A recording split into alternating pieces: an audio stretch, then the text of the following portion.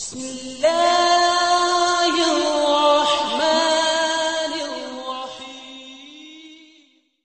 کالا کپڑا مرد کے لیے پہننا کیسا ہے؟ جائز ہے، بہتر نہیں ہے۔ سفید لباس کو پسند کیا ہے نبی نے۔ رنگین بھی پہن سکتے ہیں۔ آپ صلی اللہ علیہ وسلم نے ہر قسم کے ہر صرف زرد رنگ جو ہے نا، بالکل سرخ چمکتا ہوا جو ہے، وہ مرد کے لیے مکروع تحریمی ہے۔ اس کو ناپسند کی ہے۔ باقی سب کپڑے پہن سکتے ہیں۔ مچھلی کھانے سے وضو باقی رہتا ہے یا ٹوٹ جاتا ہے؟ وضو باقی رہتا ہے مچھلی کھانے سے یار۔ خواتین کی جاب کے حوالے سے بتائیں، میڈیا میں مردوں کا بھی علاج کرنا، میڈیکل میں مردوں کا بھی علاج کرنا پڑتا ہے۔ نائٹ اینڈ ڈے بھی آنا پڑے گا۔ شریعت کیا کہتی ہے؟ شریعت عورت کو مردوں کا علاج کرنے کی اجازت نہیں دیتی۔ خواتین صرف خواتین کا علاج کریں۔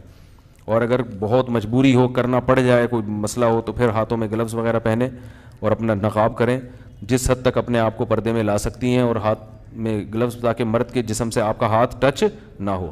یہ جو ڈینٹسٹ خواتین ہیں نا، یہ تو بڑا خطرناک معاملہ ہے۔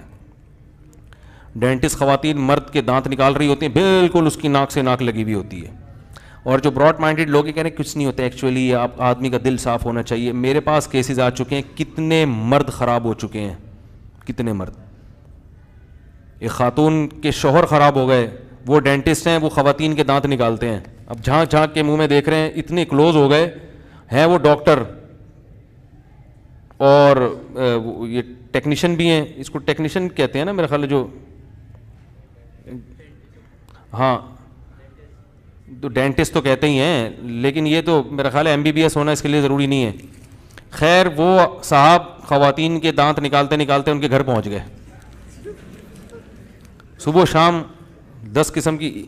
تو اسلام نے جو بتایا ہے نا، تمیز کے دائرے میں رہو، مرد اور عورت ایک دوسرے سے دور رہیں۔ ملنے کا ایک ہی طریقہ بتایا، چار شادیاں جو آپ کو اچھا نہیں لگتا۔ وہ چار سو عورتوں کے دانت نکال کے ان کے قریب ان کو پورا اسٹڈی کر کے چلا جائے، اس پہ لوگوں کو اعتراض نہیں ہے۔ وہ چار عورتوں کو بیوی بنا کے عزت کے ساتھ گھر لا کے رکھ لے، اس پہ لوگ کہتے ہیں، مفتی صاحب کو دیکھو، پاگل ہو گیا، باولا ہو گیا۔